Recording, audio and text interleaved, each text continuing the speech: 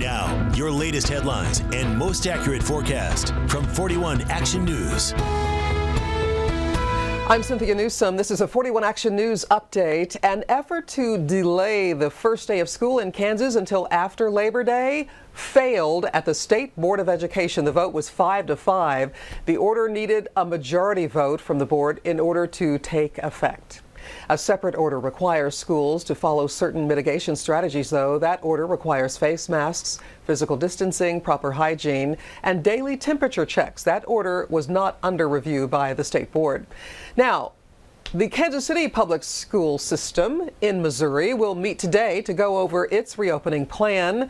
Yesterday, Mayor Quinton Lucas and the health department recommended that students should start after Labor Day. Now, other recommendations included things like assigned seats on buses and wearing a mask in public spaces on school grounds. The city also asked youth sports leagues to not host any large tournaments until after school starts. Well, police have arrested two people in connection with a deadly shooting at 26th and Van Brunt that killed a pregnant woman. The 20 year old victim was killed outside a gas station while she pushed her child in a stroller. Thankfully, that child was not hurt. The woman died, though. Charges could come this afternoon. We'll keep following the story for you. Your weather is next.